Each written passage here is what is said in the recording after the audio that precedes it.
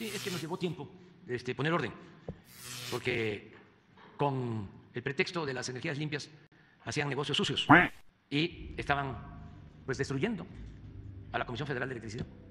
Ese era el propósito.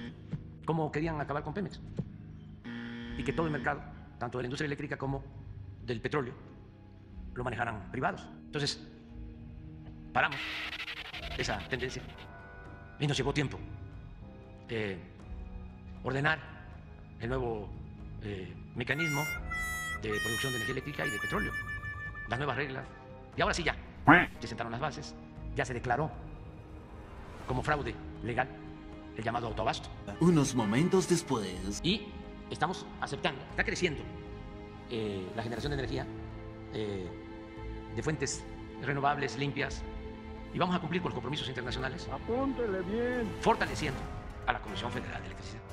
Si desaparece la Comisión Federal de Electricidad o se debilita, si fracasa como querían los neoliberales, entonces nos quedamos en estado de indefensión, dependiendo de los grandes monopolios privados, extranjeros, que manejan en otras partes y que ya casi tenían el control de todo el mercado en nuestro país. Aquí no ha habido aumentos en el precio de la luz, no hay aumento en el precio de las gasolinas, del diésel, del gas. Hemos cumplido. Ah, porque hemos puesto orden. Si hubiésemos seguido con la misma política, que además eh, se eh, emparejaba con el predominio de la corrupción.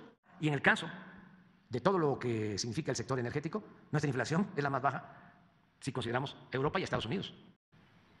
Entonces vamos, vamos bien. Y sí estamos analizando todos estos casos y resolviendo. También eh, no podemos, porque daban permisos a diestra y siniestra. Entonces, para eso es el control.